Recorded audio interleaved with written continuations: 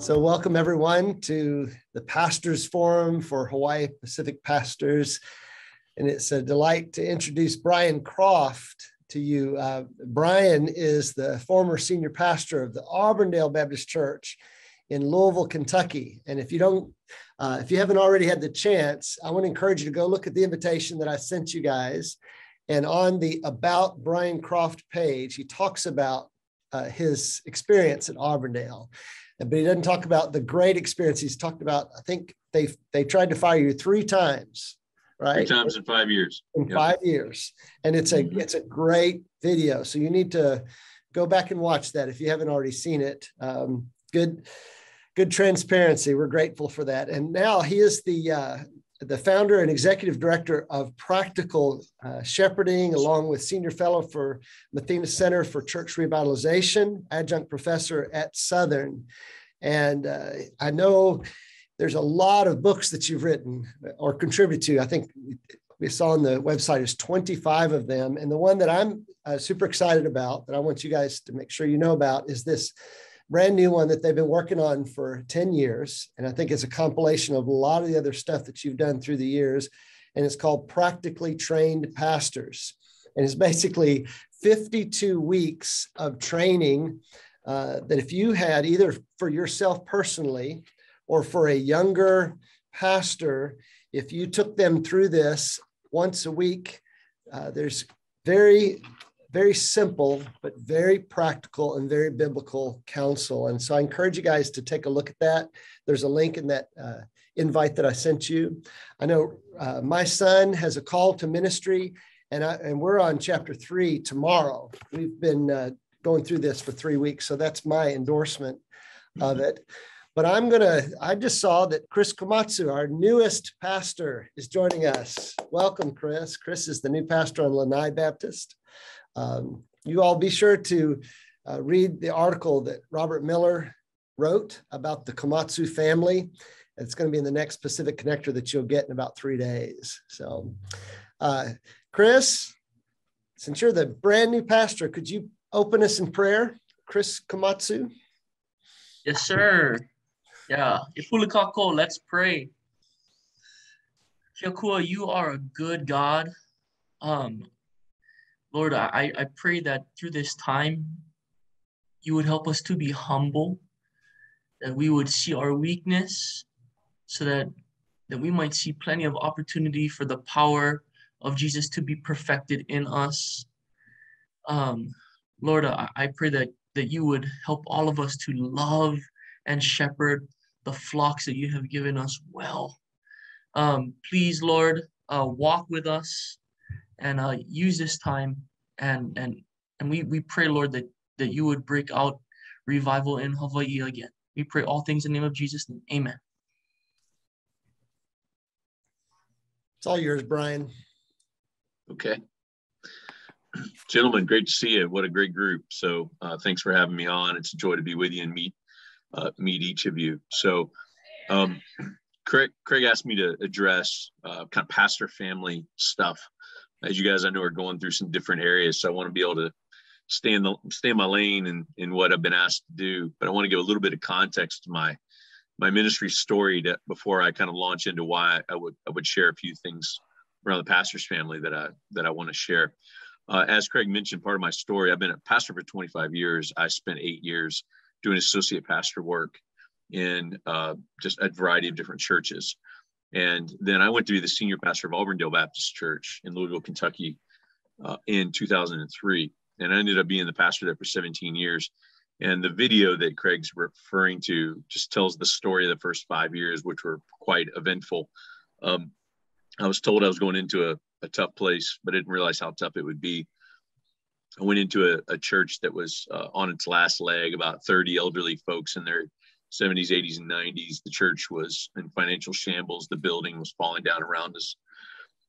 They, we figured probably about two or three. It had about two or three years left if nothing changed. And I went in and um, had been taught, you know, to, to to preach the word, love the people, go in and um, and just shepherd people and see if God would would work through that, build His church through His word, and that's what I went in to do. But it was a pretty hostile place I walked into, so there were three different movements to get me fired. Uh, in the first five years of the church. That's its whole story, and that video tells a little bit of it. But the first one was at three months. Uh, the second one was at two and a half years. The third one was at year five, and year five almost just kind of blew the church up. Um, and uh, after surviving all that, the smoke cleared. About 30% of the church had left at that time. We ran out of money. The bank account actually hit zero. And in year five, um, at the end of all that, at the ripe age of 34 years old, I started having uh, health issues that came up. Uh, a heart issue that I still have to monitor to this day showed up in my life in that time, and the docs eventually diagnosed it as just this accumulated stress overall that we had gone through in those years. And so that, but that's not the end of the story because um, in year six, the, the church just shifted and, and started to flourish. It was, it was just mysterious, almost like God. Uh, I'm convinced to this day that God had, had, didn't just make the best of those first five years. He, he providentially ordained them for me to mold and shape me to do what he needed to do in our church and uh, and it was part of his plan. And what happened the next five years after that is a lot of the people who were after me in those early years, the people who were trying to pull a group together to get me fired, a lot of those people, most of them stayed at the church, and God the next five years redeemed re- redeemed all of our relationships. And so some of the some of the people when I left after 17 years of ministry there last year, some of the dearest people to me were actually the people who were trying to get me fired the first five years and stayed at the church. And, uh, and God just redeemed our relationships. So there's a God really, really at work, and I always want to share that part of my story. But the reason I want to give a little bit of that context is that I had some really hard, uniquely hard ministry in those first five years. It took a toll on me personally as my health started to, in my my mid 30s, starting to have health issues. But the other thing that happened, as you can imagine, is that that took quite a toll on my family. And that's one of the things I just want to put out there is that I think ministry is uniquely hard. There's unique joys in ministry, but there's the unique hardship and difficulty in pastoral ministry. And one of the things that I notice, it, it, it has a primary effect on two things. It has a primary effect on us as men, as human beings, but then it has a, a direct effect on our wife if we're married and our children if we have children you know, one of the things that uh, in those early years, thankfully, my kids were too young to really remember those hostile early years. But there were people who went after my kids. So there were, you know, my kids endured some of the th- some of the pretty harsh things that people were were doing to not just me, but but took it out on them. And thankfully, they don't remember that stuff. Um, but I just want to put that out there and start there. That I think each of you, I just want to encourage you to know that um, I think without exception, regardless on how much we even try to shelter our families from the hardships of ministry, it takes a toll on our families. And I'm convinced that every pastor and his family, they the there's a there's a shelf life. Each family uniquely can only take so much, depending on how hard ministry is, depending on what kind of wife you have, depending on what kind of kids you have. And and I just want to put that out there that I think all of us, whether we, regardless of where we are in our families, regardless whether they have young kids or older kids, whatever, kids out of the house, um, I think we have to always be looking and thinking about how our pastoral ministries are affecting our wife, affecting our kids. So when I wrote the pastor's family book 10 years ago, I had, I had teenagers and I had uh, preteens and younger kids. Well, now, I mean, I have three of my four kids are, are, are adults now. And so, I mean, there, has been a whole nother experience the last 10 years with my kids. And I see in my adult kids the effects of even early years of ministry that I did. So I just want to put that on everybody's radar. I think all of our families are in different places. And it's why the main thing I want to focus on in our time is, is how God calls us. Part of our calling as pastors is to make sure we prioritize caring well for our families as we're in the ministry. Because if we don't, we can't stay in the ministry. It's a prerequisite to be able to do the work that we're called to do. So I got three texts I want to look at. If you got a Bible, I just want to I want to hit these uh, just briefly. I assume you'll be familiar with First Peter five is the first one I want to look at. First Peter five. First four verses of First Peter five. Again, I, I, I'm assume you guys will be familiar with these texts, but I want to read all three of them together because I'm gonna I'm gonna make a point by piecing them together for you to see that. First Peter 5, Peter's writing. He he says, I exhort the elders as an elder. He's talking about pastors, elders, pastors, same office in the New Testament. Um, so First Peter 5, verses 1 through 4 says, So I exhort the elders among you as a fellow elder and witness of the sufferings of Christ, as well as a partaker in the glory that is going to be revealed. Shepherd the flock of God that is among you, exercising oversight, not under compulsion, but willingly, as God would have you, not for shameful gain, but eagerly, not domineering over those in your charge, but being examples to the flock. And when the chief shepherd appears, you will receive the unfading crown of glory. The chief imperative in, command in that verse, those verses, that passage, is verse two. Peter is writing to the pastors and saying, Your main task is to shepherd the flock of God that is among you. And, and just know that's where I'm coming from. And when I when I think about pastoral ministry, there's tons of things that obviously, as you guys know, fit into a pastor's ministry, but it all fits under the umbrella of shepherding. Uh, preaching is a big part of what we do, but preaching, as you guys know it, is not the only thing that comes with pastoral ministry. I, I get I teach part-time at a seminary. There's tons of seminary students right now at Southern Seminary in Louisville, Kentucky, who think the majority of pastoral ministry is just about preaching. And it's just not. You guys know that because you're pastors and you're living in the middle of it. But I just want to highlight I believe that the, the number one command of every pastor to define the work of a pastor is verse two. You shepherd the flock of God that is among you in that flock that God has given you. So, and, and we do it on behalf of the chief shepherd. So that's that's up points to verse four. So then he explains how you shepherd the flock, and then he says it's it's on behalf of the chief shepherd Jesus. So we are under shepherds of the chief shepherd, and we're called to shepherd the flock. So keep that in mind. Go back just a couple of pages, Hebrews 13. Go to Hebrews 13, 17, one verse. Hebrews 13, 17 says this, the writer of Hebrews is writing to Christians, but in the midst of him writing to Christians, we see a big piece to the paradigm of pastoral ministry in it. Verse 17, he says, Obey your leaders and submit to them, for they are keeping watch over your souls as those who will give an account. Let them do this with joy and not with groaning, for that would be of no advantage to you. So, the writer of Hebrews is writing these discouraged Christians to obey and submit to your leaders because referring to the pastors. They keep watch over your souls as those who will give an account. So when you take first peter 5 and you take hebrews 13 17 and you put them together you get a stunning paradigm for pastoral ministry. And it's this.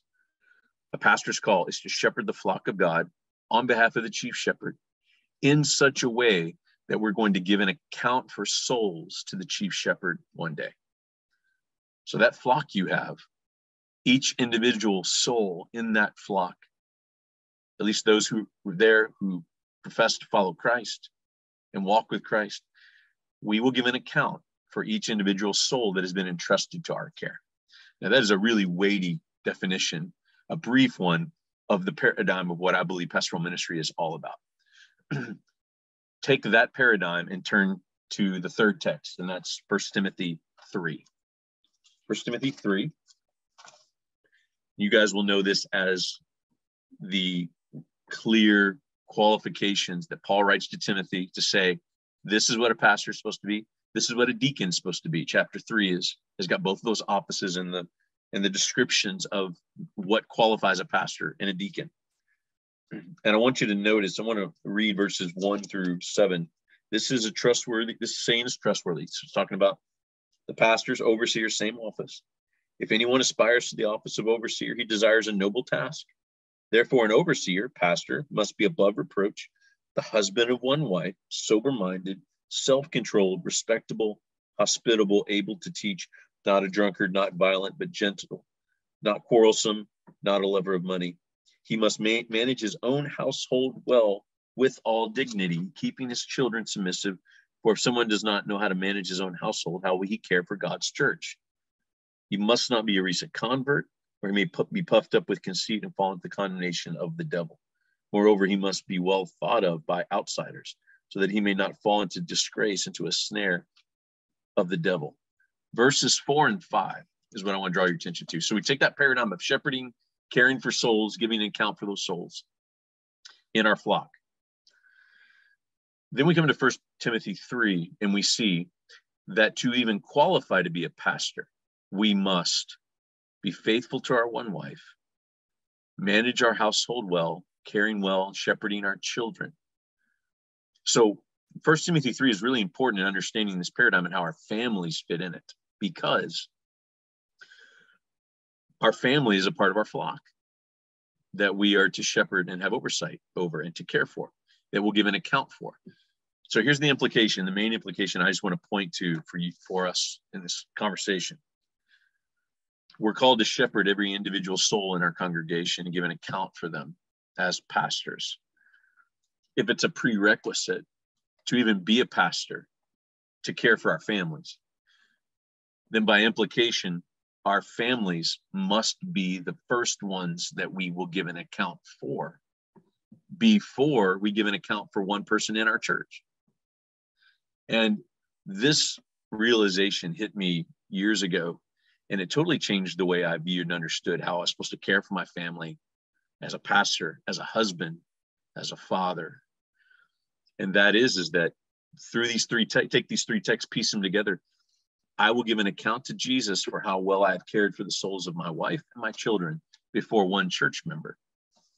And when I when that hit me, it it was stunning the way it affected me and the way I viewed the priority that my family's supposed to be. I want to highlight that and make that main implication. And here's why. You guys know it as well as I do. Uh, the cliche is that the pastor puts his family on the this the altar of sacrifice for the sake of ministry. And so often, I, I get to work with hundreds of pastors all over the world. And there are, there are so many pastors that think in the name of ministry that I am to somehow sacrifice my family. Now, there are sacrifices that come with ministry. We all know that. Our families, that's part of life in the ministry. And our families need to understand that. Our wives understand that. So this is not saying that there's not going to be sacrifice. There certainly is. And there's unique sacrifice, I would say, for the family of a pastor. However, uh, that's why I believe that pastors have to be really aware of what's going on inside of them. You know, so it goes back to what are the things that make us maybe neglect our families? Because a lot of times it's it's fearing what people think or trying to meet certain expectations or all kinds of things that would make us kill ourselves in our ministry, not necessarily because we're dedicated. We may be dedicated, but we're driven by other things that maybe are not godly, that are not driven by the, the Holy Spirit of God at work in us, but they're driven by insecurities and fears and other things. And what drives us away from caring for our families well. So I just want to bring to your attention one, that I think there's a clear biblical uh, reality for pastors to need to prioritize the care of the family not just for the family's sake, that's true, but also to even qualify to be a pastor in the first place. So I want to put that before you. Uh, I want to throw a couple of practical just helps and ideas out there around this, and uh, and then I'm and then I'll um, let Craig lead some Q and A or however you guys want to do your groups at that point. Okay, so a couple practical helps around this. Uh, this idea is that if how do we care for our families? How do we shepherd we're going to shepherd the flock of God that's among you. Our family, how do we uniquely shepherd and care for them? I want to mention one in regard to our wives, for those who are married, and second, for those who have children. Um, the first is, you know, one of the things I've learned is that um, there's four things I want to mention um, serve, disciple, encourage, and pray for our wife. Uh, serve, disciple, encourage, and pray. And I want to give those four categories because I want to give the category and then let you determine how the best care for your wife. So I, what I'm not going to do, it, what I and I don't do this regardless of where I go or when I'm talking about this stuff, is I want to put those categories out there and challenge you to think about how do you serve, disciple, encourage, and pray for your wife in a way she feels loved and cared for. Because I don't want to share what I what may work in my own marriage. Your wife's totally different than my wife she may need something else different. So I want to push you and challenge you to think about how does your wife need you to serve her and disciple her and encourage her and, and pray for her. But I want to put those four categories before you. I think they're really important and they capture a ton. And if you're wondering how to answer those questions, uh, I've got a, a small piece of advice. Uh, go ask her instead of trying to guess. Just go and ask her. Uh, when was the last time you went to her and said, "How how can I how can I serve you in a way that's that's helpful? How can I encourage you? How can I pray for you?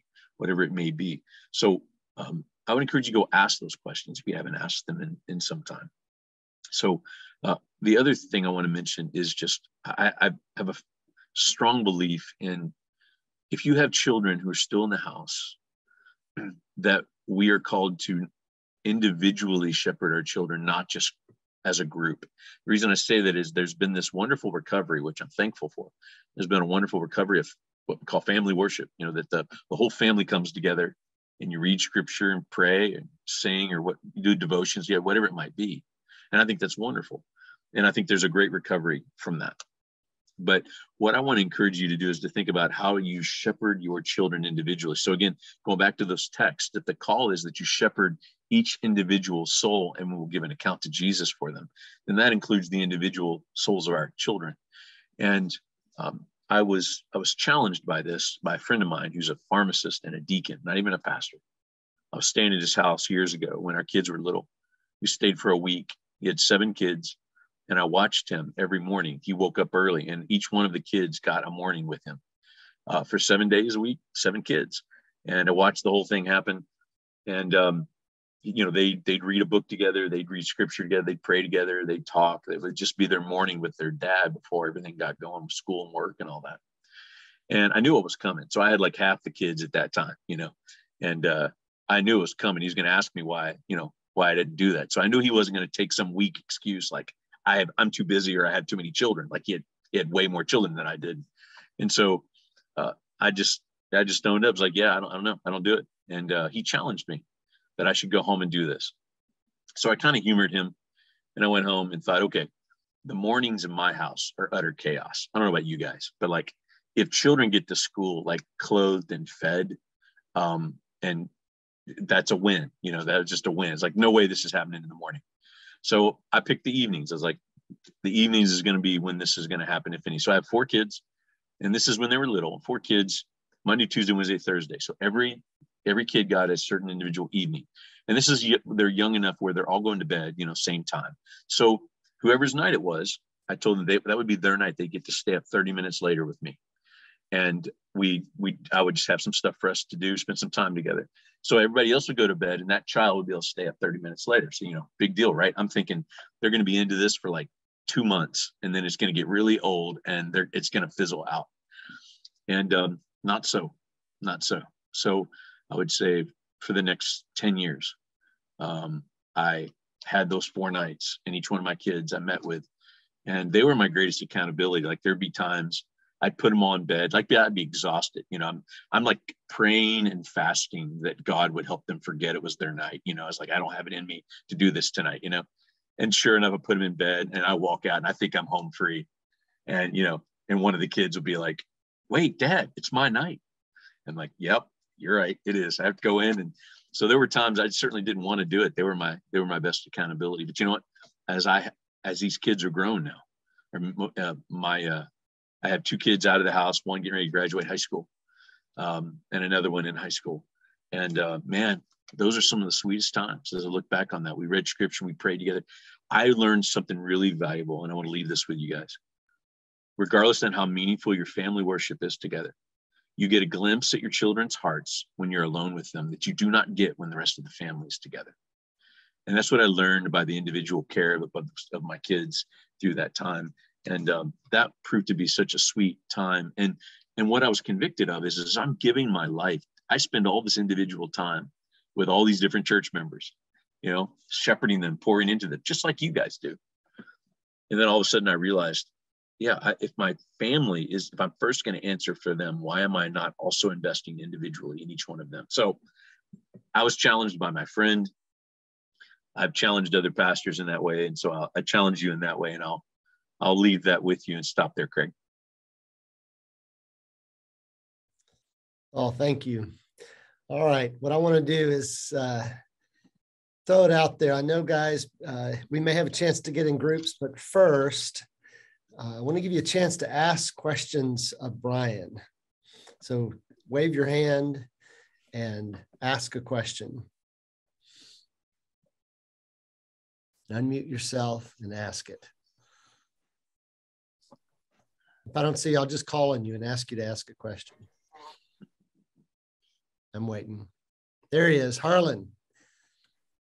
Tell him about your your. Uh, so your I. Yeah. So I adopted two boys who are homeless in Hawaii, and we um we read the Bible every uh, dinner time. We read a chapter a day. So I'm thinking about the, the 30 minute thing where I can spend with them um, in addition. So what would you suggest if we read a Bible uh, chapter? Is there like a book I can read with them or do you have any suggestions on that, I guess?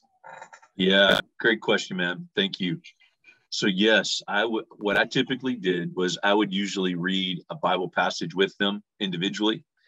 Um, sometimes I would pick a passage I would pick uh, the passage I was preaching for that Sunday, if it was simple enough to read it, and then just just have a conversation with them about it. Uh, you'd be amazed, depending on the age of the kids. You know, you, you'd be amazed at, at how helpful that is to sermon prep to hear it. Uh, to hear a kid's thought on uh, on that text for that for that particular day. But it gives a chance, Harlan, to you know have the individual dialogue about about scripture in some way. So pick something there. But then yeah, I would we would pick a whole nother book and I would let them pick a book to read whatever they wanted. So it, you know, so it could be age appropriate. And so I would let them pick the book, something they wanted to read, you know, something that would be fun for them to read. And then depending on the age that they were, uh, they would read some and then I would read some if they were older. So I didn't read very well growing up. And so it was important to me that I actually heard my kids reading as, I, as they were growing up and learning to read. So depending on the age, uh, I think you can do that. So pick an age appropriate book, something that they want to read and, uh, and interact with them you know, about it. So we'd pray, uh, you know, I, we'd pray together. I'd ask them how they're doing. Like, so that's a moment to say, you know, how can, you know, is there one way I can, I can pray for you? And you, you get to teach them, how do you think mm. about it? Telling somebody, asking somebody to pray for you and those kind of things. So yeah, but read a book with them that they'll have fun reading. That's a great idea. All right, Larry Hale's got a question. Larry, unmute yourself and talk to us. Hey, Brian, thanks for being with us and sharing with us. Hey, Larry. Um, so, so Brian, the things you're talking about, man, I, I, think it's awesome. There, there, are actually some things I've been trying to implement with my family, but uh, with my kids, I got three kids. They're kind of the teenage years. Uh, one of them's 12, almost 13. So, um, I'm not doing it as well as I, I want to, um, but I am trying to trying to implement it. Uh, I've got one that's getting ready to go into college this next year. And uh, I wanted to get your thoughts on that. Is that something that I should try to, you know, continue to do with her? I mean, the relationship's starting to change, but it's still sort of under our roof, you know, from some respect. Should I still try to do video chats with her and, and do the same thing? That's a great question. Um, so one quick story, as I was doing, did this for years. And as my older children became teenagers, what I started seeing in, is that they were still doing this with me. Uh, they were glad they were gladly doing it. They weren't complaining. But Larry, I could tell they just weren't into it as much, you know, becoming teenagers and and all this. But they knew it was it was kind of embedded in the culture of our family. It's something they were going to keep doing. And I went and talked to my wife when I said, you know, I can tell that they're just some just not into it like before, you know, and I'm I'm not sure what to do. And I was really I really felt lost. And I asked her, this shows how wise she is. You ready for this? I said, I don't know what to do. She says, I got an idea why don't you ask them what they want to do? And I went, that's pretty wise. Okay, I will. Like simple, right? But brilliant. If you think about it, I have to honestly own I had it did not cross my mind to do that. And she said, ask them. So I ended up going to them and saying, you know, hey, what, you know, I'd like to keep doing this with you, but I, I know you're getting older and I want to do this to where this is still enjoyable for you, but I want to have that time with you. And you know what, Larry? Every one of them had had their own idea what they wanted to do, and uh, that was really helpful. So my um, so one example, my oldest daughter, uh, she said, you know, because it was the same night, same day every week, same night. You know, that was the routine. She actually wanted a spontaneity with it. So um, you know, and that's the thing. It's like that doesn't have to make sense to me. I just need to hear and listen to that, and then try to meet that need. So I started doing some spont. So so we didn't do it every week. So like but like one maybe once a month, uh, I would spontaneously like when she got home from school, hey, you want to go? You want to go get some coffee together, you know, and go hang out a little bit. She, you know, she loved it. So still to this day, she's grown. She's 20. She's an EMT, but lives in the city, same city we live in. But she's on her own, lives in her own apartment, and I still text her like the night before, hey, you want to go breakfast? And she loves it. Like she's 20, you know. So I, I would, you know, figure out which what your kids want and let them speak to that and then try to accommodate it. And I would say every kid's different. Yeah, thank you. Appreciate it. That's great. All right, another question. Wave your hand. Ask your question. Somebody's got a hand up. Okay, unmute yourself. Hi, this is Emil. Hey, Mel. Hey, uh, uh, uh, I heard that you have uh, a daughter, at least one daughter. Um, I have two boys and two girls. Uh, can you speak really briefly about how, uh, how your wife has partnered in this process with you? Um, my girls are getting older, and and uh, so, so, some topics are beginning to be off limits. Um, where my wife has been helpful, and, and I don't know if, if you have any any ways that you've seen that helpful for what you're trying to do with uh, shepherding uh, your family. Yeah, that's great. So I have three daughters, Mel. So my okay. son is 22 now. He's the oldest. And then I have three daughters, so 20, 18, 15. And um, yeah, it's I mean, as you can imagine, it's it's hard to put into words the the what my wife has done to parent our kids and care for them, especially the girls as they go into teenagers. She has done a just a brilliant job of of caring for them in those specific ways that, like you said, is ideal for a mom to care for a you know, when when girls start going through puberty and all those kinds of things, having those conversations. Um, yeah, I didn't shy away from that at all. She's just she's really been great at that. the two other things I'll say is my wife is incredibly wise, so she's brought a ton of wisdom to our parenting that I would say I lack. So, um, I mean, honestly, like had a conversation last night that she brought something up, and I'm like, yeah, I I wasn't thinking about that, and that's something I should do, you know, kind of thing. So she she's brought a ton of wisdom and just understanding to them. Um, the third thing I would say, and this is no small thing, one of the ways she supported me is she supported me meeting with the kids all, all those years. You know, so you, you, you I tell guys, you probably will not have your wife probably will not complain that that she's losing you for 30 minutes at night for you to go and spend time with your kids. But you know what? That's not an assumption to make for everybody. So like she blessed me to go and spend time with them. Like she encouraged it.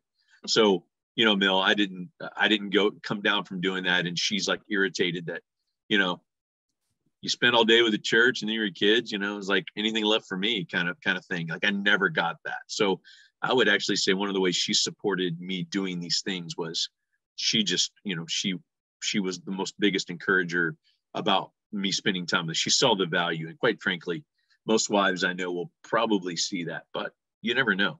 But I have to acknowledge that's one of the ways she supported the work I was doing with them. Thank you. That's that's really helpful. Great question, guys. Thanks, Emil. Somebody else. All right, Martin Chapel, Bangkok. Um, what would you say is probably some of the the best things or most important things you did with your wife you know we've talked a lot about the kids and of course about your wife supporting you but from the perspective of you speaking into your wife's life and you know a lot of that is protecting and you know just being there uh, so what would you say are some of the the most helpful things that you and your wife did together to help navigate those stressful waters of ministry yeah, good question. And I have to say, some of the answers I have came out of uh, learning that I wasn't doing some of them well. So, um, which I guess is some of the best lessons we learn, right?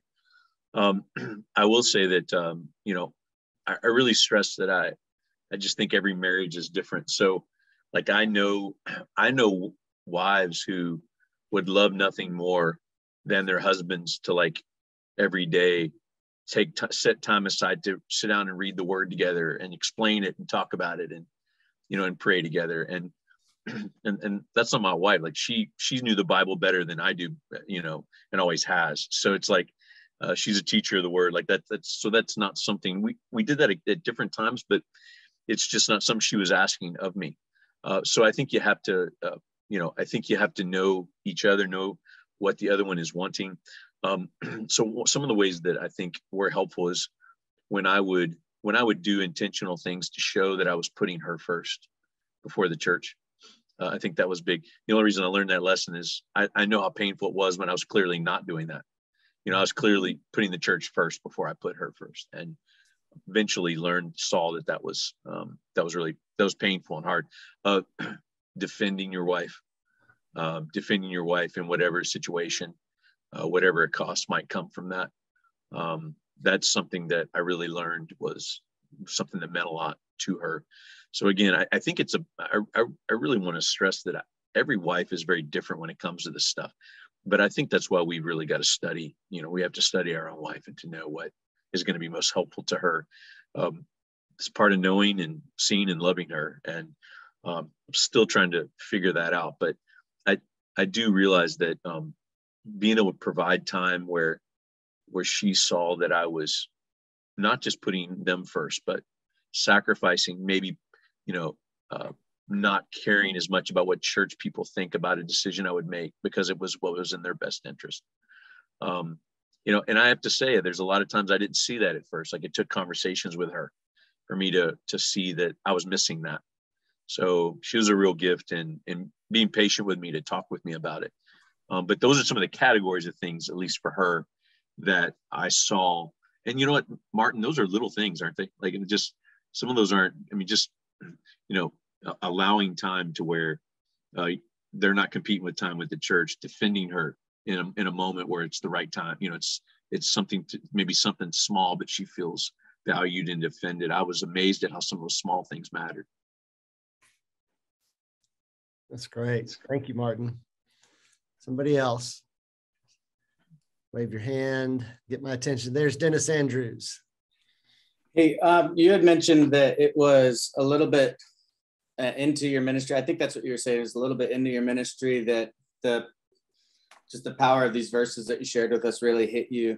Um, I guess the question I have is, as you were ministering at the church, that realization of what the scripture's teaching was that a big change in how you structured your time and the way that you dealt with the church versus family and, and structuring that those ministries was that was that something that you had to work through and, and kind of educate and build the church with? And and then the follow-up to that is how did you do that? All good questions. I think um, I, I would say two main things happened i think when those texts started to have an impact on me. One was how it affected my heart, uh, which obviously, as we know, is is the the overflow of our actions comes out of that. So I, I was I was gripped convictionally, and that that started to change things. The spirit was at work there. But yeah, but I think uh, um, there's a finding a tangible action, a practice that changes. Um, is one, it becomes very tangible then, but two, your family notices you know so i think that's another thing is you can love your family well um, theoretically but if, if if they don't feel that love from you um, it it's not having the impact you want it to have. Like you want you got kids at home you know you want them to know that they want to they want to experience that you're prioritizing them or whatever that you know looks like. So i'd say those those two things well, and of course i was as we know the, the heart has to turn first before any actions change. So I remember that, you know, I just felt a ton of pressure and fear of man uh, around, you know, just trying to meet all the expectations. This church, you know, I mean, people are coming after me. I mean, it just, it stirs so much stuff. You're not prepared for that. And so, you know, I crushed myself trying to just meet those expectations. I wouldn't have told you I was like, you know, I was neglecting my family um, that I knew I was, but, but I was, you know, I was in those years uh, in different times, not all the time, but, you know, there were, there were pockets of that. So, what I learned too is when I started to change. So one of the things I started to do, Dennis, is I started to look for tangible things to do that I wanted my kids to notice. So quick example, I used to have my phone You know, I'd set my phone next to me at dinner, you know, just in case there's a, you know, whatever emergency call or something. We're sitting having dinner as a family. And so for years, you know, my kids knew that, you know, sometimes the phone would ring and I would feel I would answer it. Um, and there was a time where I realized that um, that I was doing that and that, that was making a statement to them. So one dinner, I took my phone and put it in the other room and left it, and it wasn't sitting next to me. We we're just eating dinner, and the uh, the phone rings while it's in there, and uh, of course my kids look at me like, you know, Dad, phone's ringing, you know, like almost in a panic, like it's all the way in there, and you're here, you know, what are you doing? And uh, and I just act like I don't even hear it, and I was like, oh well, it's okay, I'll, I'll check it later, you know. Just it was a totally different experience for them, and uh, and I remember one of my kids said, but Dad, what if somebody died? And I remember looking at them and saying, then they're not going anywhere. I'll check it after dinner. And you know, that's small, that small shift, right? That that's that doesn't sound like a big that's just a putting a phone in the other room. But it, it made a statement to them, I'm, I'm yours. This is my time with you. Nobody gets to get in the way of that. Like those small things I started to learn, you know, trying to find strategic ways to make communicate that to them. That's great. And if that's the only thing you guys get from this, don't miss that one. That was really put your put your phone away. And, man, oh my goodness. That's right. Totally. I wish somebody would have said that to me. Not that I would have listened, but I wish somebody would at least said it to me. Mm-hmm. All right. Any other questions? I'm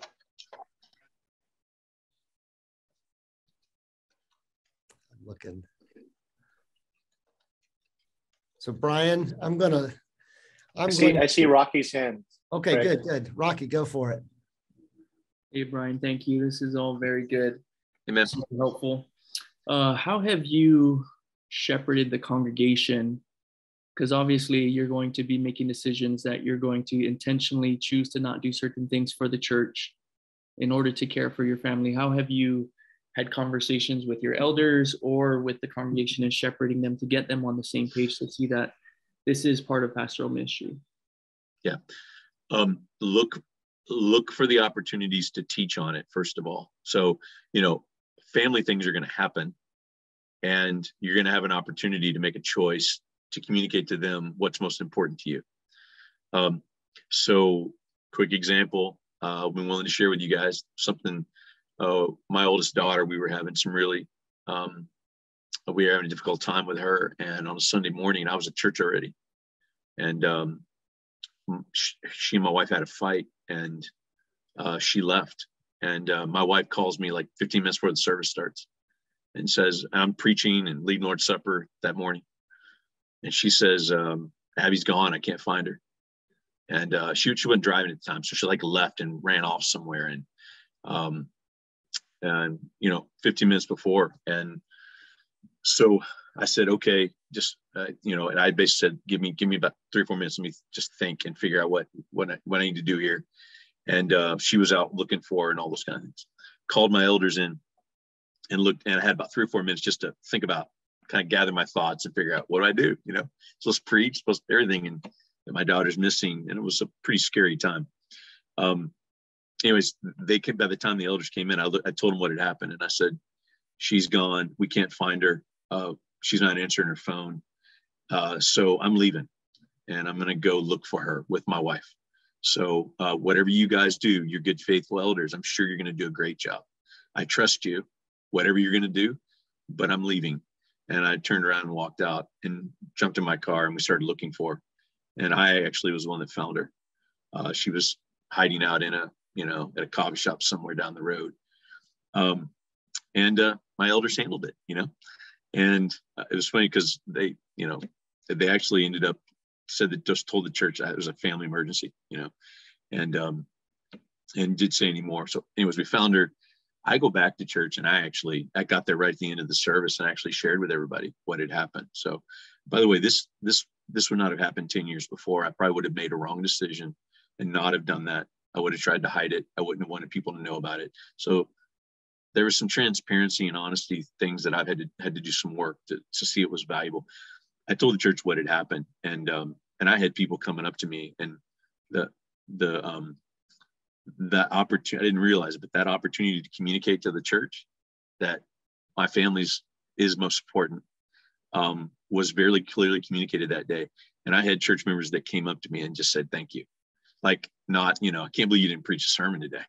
I had, had somebody come up say, I know you didn't preach a sermon, but you preached a sermon, just so you know. Uh, so look for the opportunities to teach your church really in the moment. And, and I would say um, that was one of those moments. Last thing I'll say, really easy thing everybody can do use every day your vacation. Um, pastors are notorious for not using your vacation time. I'm not going to ask for a show of hands on this call if you use all your vacation time, but uh, use all your vacation time. That's the only time your family doesn't have to share you with everybody else. I notoriously did not use my vacation time for years, and I had a friend call me on it, and he was right. So, um, one easy way to communicate to your church: my family is important to me. My own personal care and rest and health is important to me. I'm taking every day of my vacation time, whether people like it or not.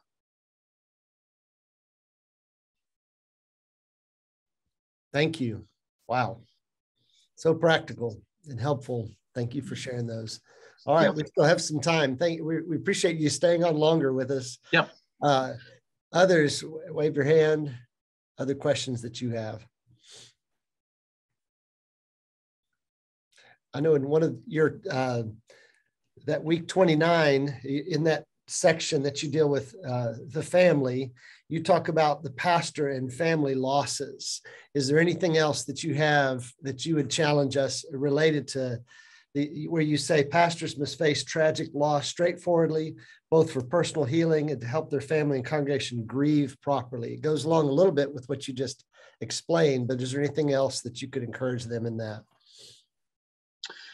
I would just say that that when there's a great when there's a loss in the church, that affects your family and you. A pastor is uniquely in a hard situation that we have to. So, like, there was a one of my dear friends was a deacon in the church, my age. He was killed in a car crash, left a wife, a five year old, and a one year old.